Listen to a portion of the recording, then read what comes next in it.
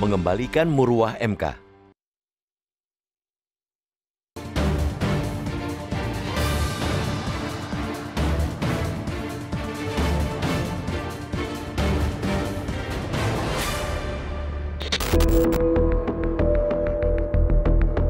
Masa depan demokrasi sekaligus integritas dan kredibilitas Mahkamah Konstitusi atau MK akan dipertaruhkan ketika penjaga konstitusi itu memutus uji materi sistem pemilihan umum tak lama lagi.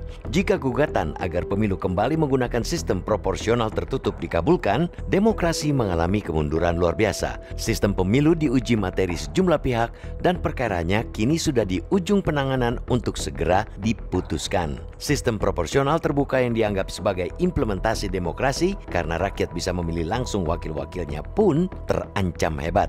Meski proporsional terbuka diinginkan oleh mayoritas rakyat, kendati hanya satu partai politik di parlemen, yakni PDIP, yang setuju agar kembali ke proporsional tertutup. Ada kekhawatiran amat sangat bahwa Majelis Hakim Konstitusi bakal mengabulkan judicial review ada kecemasan tingkat tinggi bahwa sistem proporsional terbuka akan menjadi kenangan indah semata. Kekhawatiran itu wajar, sangat wajar karena kinerja MK belakangan layak dipersoalkan. Mereka yang semestinya menjadi penertib undang-undang meluruskan yang bertentangan dengan konstitusi sudah jauh melampaui tugas dan kewenangannya.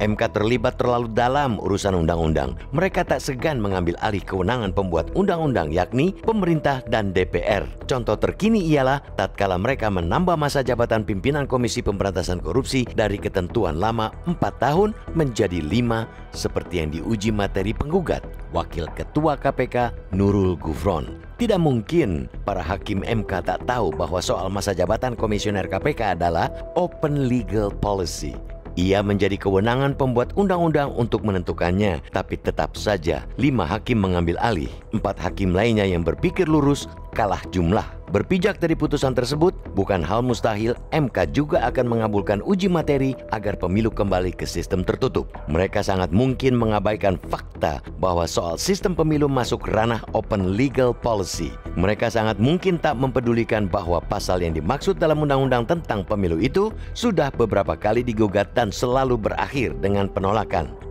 MK yang sekarang beda dengan MK yang dulu. Bahwa majelis memutuskan sistem pemilu menjadi proporsional tertutup sudah diungkapkan pula oleh mantan Wakil Menteri Hukum dan HAM Denny Indrayana. Profesor ahli hukum tata negara itu mengaku mendapatkan informasi dari A1 di MK. Menurutnya, enam hakim mengabulkan gugatan dan tiga lainnya dissenting opinion. Denny sengaja membeberkannya ke publik sebagai bagian dari kontrol koreksi agar MK tak sesat pikir sehingga sesat mengambil putusan.